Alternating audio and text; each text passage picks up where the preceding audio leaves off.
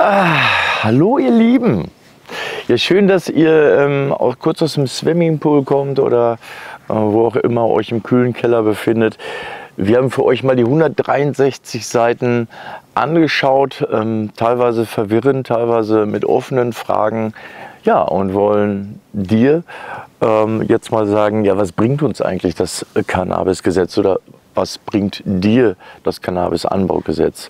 Also geht es jetzt in dieser Sendung darum, wird legalisiert bzw. wird kaputt reguliert. Ja, ich freue mich mit euch auf diese Sendung. Ja, viele haben ja schon darüber berichtet. Ich möchte am Anfang noch mal klarstellen, dass es sich hier um einen Gesetzesentwurf handelt, ähm, sprich da werden auch noch Änderungen stattfinden. Trotzdem ist ja lang genug daran gearbeitet worden und man fragt sich natürlich, was haben sich der eine oder andere dabei gedacht. Zunächst mal, also es gibt natürlich jetzt, ich will auch nicht alles schlecht reden, es muss irgendwie ein Anfang gefunden werden und Schauen wir mal. Äh, Besitzkonsum bzw. privater Eigenanbau ähm, sind für Erwachsene unter bestimmten Voraussetzungen legal. Ausrufezeichen. Also Voraussetzungen sind ähm, Besitz. Du musst das 18. Lebensjahr vollendet haben, das ist ganz wichtig.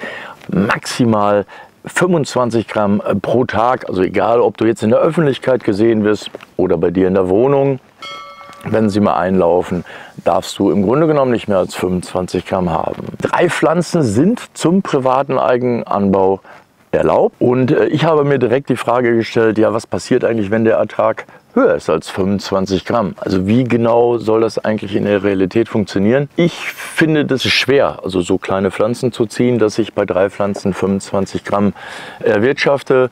Ich glaube, da muss auf jeden Fall mal noch ein bisschen nachgebessert werden. Ja, die Weitergabe ist natürlich nicht erlaubt, äh, beziehungsweise außer wenn man zusammen konsumieren will. Also wenn wir beide jetzt bei uns im Wohnzimmer sitzen und so, dann darf ich dir das schon weitergeben, direkt zum Konsumieren. Ja, äh, was gibt es noch zu sagen? Du darfst auf jeden Fall, das ging jetzt nur um Besitz, bei Konsum kann man sagen, du darfst sogar in Fußgängerzonen äh, konsumieren, allerdings nur zwischen 18 ähm, und nee, zwischen 18 und 20 Uhr circa.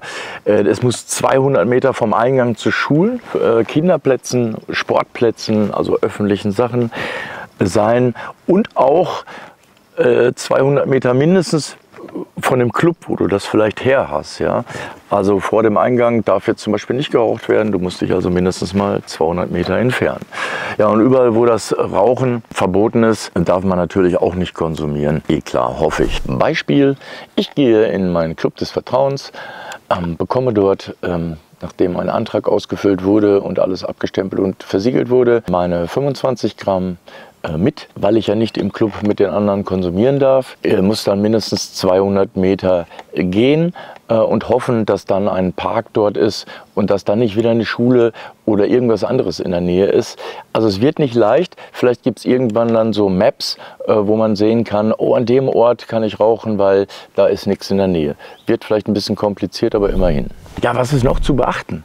Ähm, zum Besitz nochmal. Weitergabe ist, äh, ich weiß nicht, ob ich schon erwähnt habe, nicht erlaubt, außer man kifft gleich zusammen.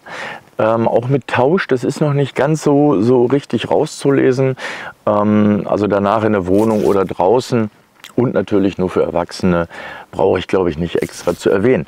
Es müssen Schutzmaßnahmen getroffen werden, ähm, sprich, äh, sollte irgendwie vor Kindern natürlich geschützt werden, sollte also in einen extra Kasten sein, der am besten auch noch absperrbar ist. Es darf, auch wenn du zu Hause anbaust mit deinen drei Pflanzen, nicht den Nachbarn stören. Sei also froh, wenn du keine Nachbarn hast, die das vielleicht stört. Vielleicht gibt es auch da wieder Probleme. Du musst also äh, sowohl für Lautstärke, wenn das den Nachbar stört, wie auch Geruch, kann das Ärger geben. Und du musst es natürlich ähm, von unbefugten Dritten auch äh, unerreichbar machen bzw. versperren. Der Anbauort muss übrigens dein Wohnsitz sein. Du darfst also jetzt nicht beim Kollegen anbauen, weil deine Hütte zu klein ist. Nein, du musst dort gemeldet sein. Zweitwohnsitz ist möglich, aber es muss alles innerhalb Deutschlands sein, also nur da anbauen, wo du gemeldet bist. Laut Gesetzesentwurf Sind Marihuana und Hassis, nein, also sind Cannabis und Hasch erlaubt, aber nur im reinen Zustand, also pur. Edibles, Öle, Extrakte und so weiter weiterhin verboten. Bei Heranwachsenden ist ein THC-Gehalt von maximal 10% erlaubt. Äh, Heranwachsende versteht man wahrscheinlich zwischen 18 und 21. Auch das kann man nicht unbedingt genau herauslesen, was mit Heranwachsenden oder wie man das genau definiert. Das Gesetz ist mit EU-rechtlichen Rahmenbedingungen vereinbar. Das heißt, die müssen also auch jährlich einen Bericht an die UN schicken ähm, und an die Vereinten Nationen, ähm, wie das Ganze abläuft und was da gemacht wurde. Ja, die THC-Werte werden dann also vom Bundesministerium für Digitales und Verkehr untersucht. Ja, ermittelt auch. Und es ist wirklich noch äh, ziemlich unklar, äh, welche Werte eigentlich erlaubt sind und äh, ja, wie diese überhaupt gemessen werden und bestimmt werden. Ja.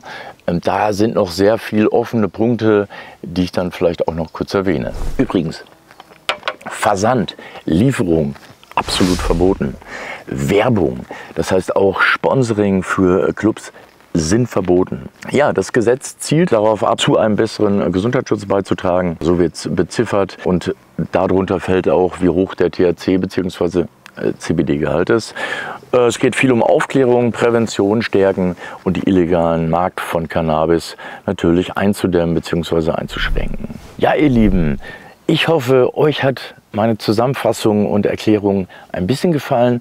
Es ging also um Besitz, Eigenanbau, Konsum. Ich wollte aber nicht alles in eine Sendung knallen. Es wird noch eine weitere Sendung geben, wo es nochmal darum geht, was dürfen Clubs, auf was müssen sie achten und ja, was, äh, was der Gesetzesentwurf noch im Resümee von sich gibt. Ich bedanke mich und würde mich auf deinen Kommentar natürlich freuen. Bis dahin.